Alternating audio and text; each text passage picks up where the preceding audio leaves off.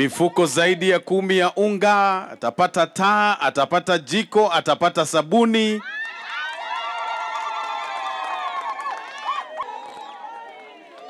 Tutulie papo hapo.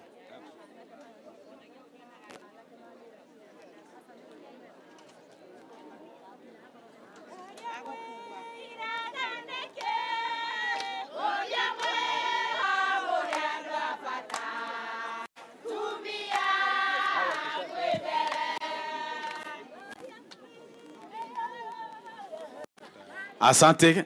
Tunaomba Joyce Kanyi naye pia aweze kusogea karibu, na baada yake Gideon Mwendwa.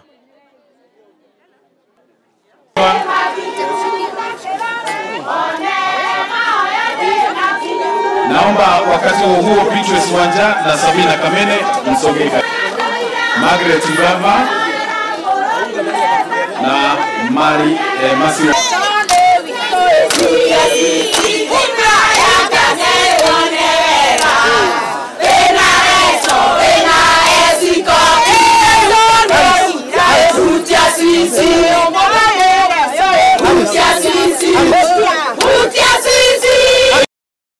Ningependa kuchukua nafasi hii kushukuru sana mama wetu wa taifa Rachel Ruto kwa kuchagua kukuja hapa kusaidia nyinyi siku ya leo.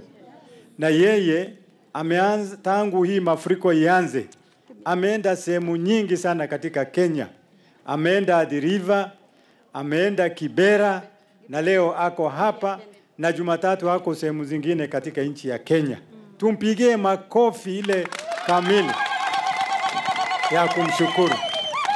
Na hapa siku ya leo ameletea nyinyi chakula aina nyingi sana. Tuko na mchele, tuko na mchele hapa, tuko na maharagwe, tuko na unga ya ugali, tuko na dengu, tuko na u, kila kitu iko hapa. Hakuna watu amesaidia kama nyinyi. Na bila shaka mumefurahi sana, tumeona hiyo. Na yeye anataka kila mtu apate hii chakula. Pahali mingi ukienda chakula ikiwachwa, unaona ule mtu ako na nguvu anapata zaidi ya mwingine, lakini mama Recho anataka kila mtu apate, mama mzee apate, kijana apate, mzee apate, na DCC yako hapa. Sisi tukiondoka hapa, tunataka chakula igawiwe kwa njia ya heshima, kila mtu apate hiyo chakula. Ukiona ah, watu ambao tuko nao siku ya leo ni wengi sana, hawana pahali pa kulala, ni wengi sana hawana chakula, na tunataka kukushukuru kwa sababu tumeona ungeenda pahala kwingi sana katika nchi ya Kenya, lakini ukachagua kuwa nasi siku ya leo. Thank you very much for coming with all this food for us. Ours is to tell you asante, asante, asante. Waswahili wanasema rafiki mzuri ni yule akufaae ukiwa kwa dhiki, si ndio? Na ndio mmeona hao marafiki wote hawajakuja tu kwa ajili ni viongozi wanafanya kazi kwa kaunti ama kwa serikali, lakini pia ni marafiki wenu, na mimi najua kwamba wakati shida yoyote inatokezea, mtu ambaye anaumia zaidi ni nani? Ni mama. Mama ako na mzigo mkubwa sana. Mama anafikiria watoto wake, anafikiria mume wake, anafikiria jirani, anafikiria community, anafikiria kanisa, anafikiria msikiti. Si ni kweli? Na ndio nimeona hata kina mama wamekuja na watoto, kwa sababu mama amesema hata nikikaa nyumbani itanisaidia nini?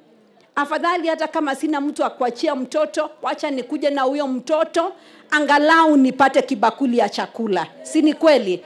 Na mimi nataka kuhakikishia wananchi wa thika kwamba kila mtu atapata chakula. Mkitazama kuna chakula ya kutosha. Si ni kweli? Hili shida ambalo tumepata sio tu hapa thika peke yake. Nafikiria mumeweza kuona katika runinga kwamba ni shida ambayo tumeweza kupata katika sehemu nyingi ya nchi yetu ya kenya. Na kama vile mheshimiwa alisa amesema ni kwamba tunasema asante kwa mvua. Maana mvua ndio inatuwezesha kuweza kukuza vyakula mnakumbuka kwamba mwaka wa elfu ishirini na mbili elfu ishirini na tatu tulipata janga kubwa la ukamwe.